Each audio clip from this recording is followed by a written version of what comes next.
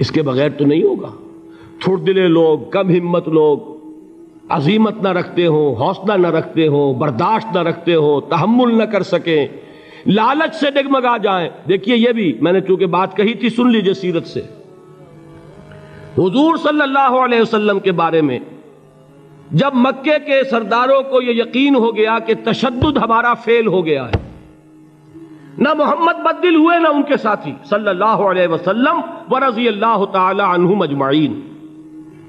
तो उन्होंने दूसरा पासा फेंका। पहला पासा क्या था? इस्तेजा तमस्कुर मज़ाक, डिमोरलाइज करो। नर्वस ब्रेक डाउन करो इनका। बैठ जाएँगे पताशे की तरह। मालूम नहीं है तो खड़े रहे।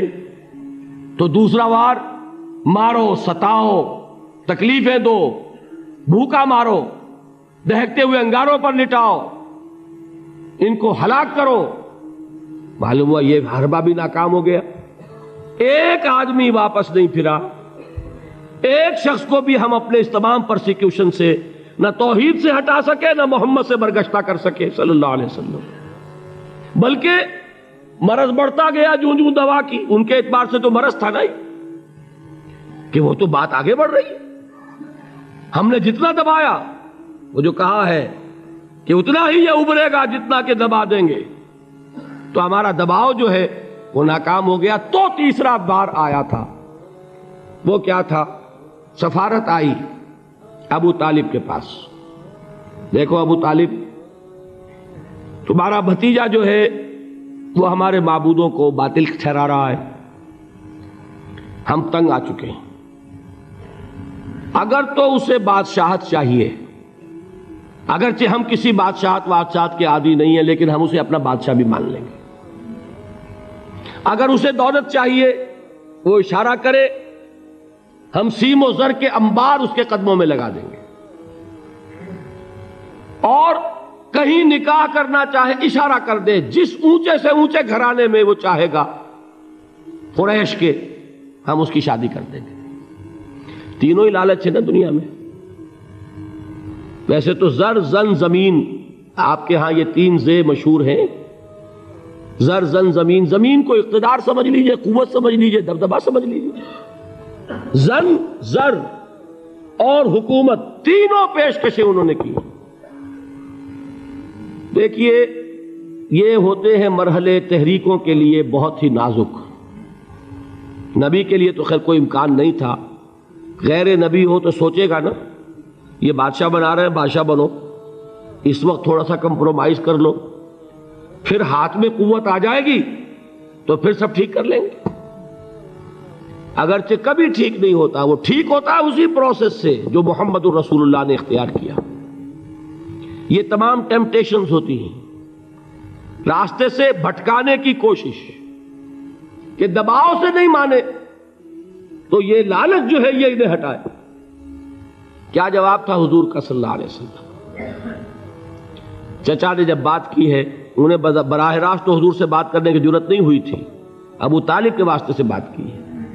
चचा ने जब बात की है आकर हजूर ने फरमाया, चचा जान, अगर वो मेरे दाहने हाथ में सूरज और बाएँ में चाँद रख दे, तब भी मैं ये काम नहीं छोड़ सकता। तो अजीमत मैंने कहा था, सब्र क्या है?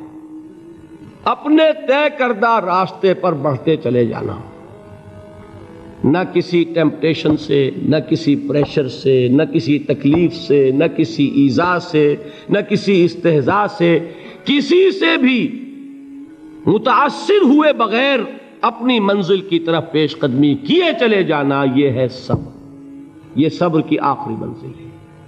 और इनकलाबी सब्र जो है, उसमें एक मरहला आता है, पैसिव रेजिस्टेंस, एक आता है एक्टिव रेजिस्टेंस। एक में सब्र महज है झेलो बर्दाश्त करो, कोई रिटेलिएशन नहीं। और एक वो आता है कि अब आगे बढ़ो। बड़ा प्यारा मिसरा है, आगे बढ़ो या वक्त की रफ्तार रोक दो। वो आगे बढ़कर फिर निज़ाम बातिल को चैलेंज किया जाता है। और फिर जंग है इन युहिब्बुल्लज़ीन युकातिलून फी सबीलिही सफ़न का नहुम बुनियान मरसूस इन अल्लाह मिनल मोमिनीन अनफुसहुम व अमवालहुम बिअन्न लहुमुल जन्नह युकातलून फी सबीलिल्लाह फयक्तलून व युक्तलून वादन अलैहि हक्कन फित तौरात वल इंजील वल कुरान वमन औफा बिअहदिही मिन अल्लाह फस्तबशिरू बिबैइकुमुल लज़ी बायअतुम बिह हुवल अल्लाह ने अहले ईमान से उनके जाने और उनके माल खरीद लिए हैं जन्नत के एवज नतीजा क्या है? वो जंग करते हैं अल्लाह की राह में। कत्ल करते भी हैं, कत्ल होते भी हैं।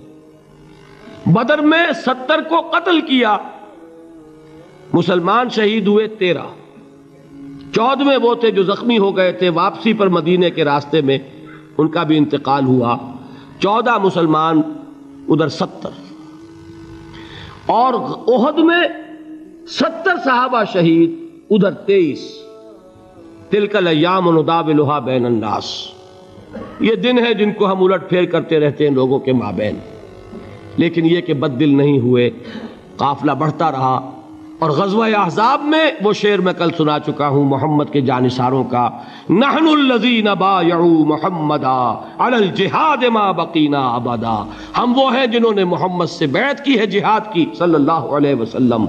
अब ये जिहाद, ये किताल, ये जंग, ये सरफरोशी, ये जाफिशानी जारी रहेगी जब तक जान में जान है। या तख्त, या तख्ता।